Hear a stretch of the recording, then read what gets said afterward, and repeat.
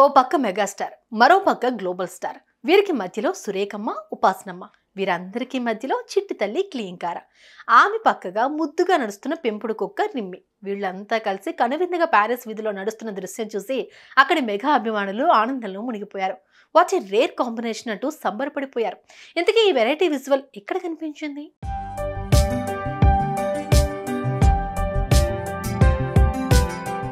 కన్నకొడుకు రామ్ చరణ్ని అతని సతీమణి ఉపాసనమ్మని బుల్లి మనవరాలు క్లీంకారాను వెంటబెట్టుకుని వీధిలో నడవడం అన్నది మెగాస్టార్ చిరంజీవికి ఇండియాలో అయితే సాధ్యమయ్యే పనేనా? అభిమానుల తాకిడితో ఉక్కిరిబిక్కిరైపోరు. అయితే ప్యారిస్లో జరుగుతున్న ఒలింపిక్స్ ప్రారంభోత్సవ వేడుకలకు వెళ్ళిన చిరంజీవి తన కుటుంబ సభ్యులతో కలిసి ప్యారిస్ వీధుల్లో అలా అలా షికారు చేశారు.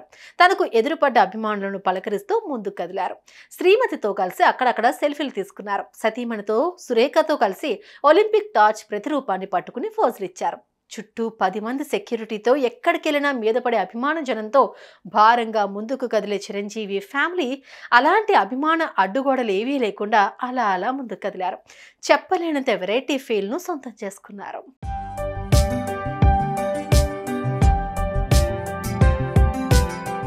అలా అలా నడుస్తున్న సమయంలో ఆ ఫ్యామిలీతో badminton queen of India PV Sindhu కలిశారు.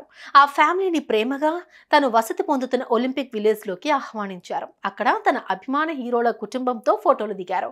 బ్యాడ్మింటన్లో బంగారు పథకాలు సాధించి దిగ్విజయంగా తిరిగి రావాలి అంటూ చిరంజీవి దంపతులు ఆ బ్యాడ్మింటన్ డైమండ్ను మనస్ఫూర్తిగా ఆశీర్వదించారు. మొత్తానికి కాస్తంత వీలు చూసుకుని ఒలింపిక్ ప్రారంభ వేడుకలను ప్రత్యక్షంగా చూడాలని సకుటుంబ సపరివార సమేతంగా ప్యారిస్ వెళ్ళిన మెగాస్టార్కు ఈ టూర్ ఓ అద్భుతమైన అనుభూతిని అందించింది.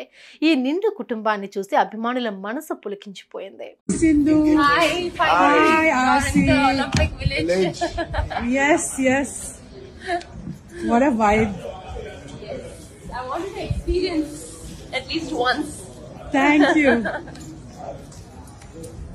Olympic Village.